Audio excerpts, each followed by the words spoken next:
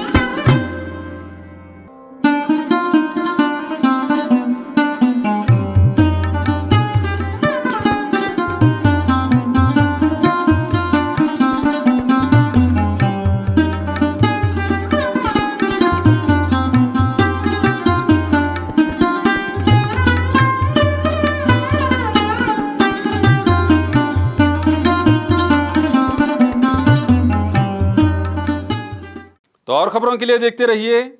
Avon news channel the face of trust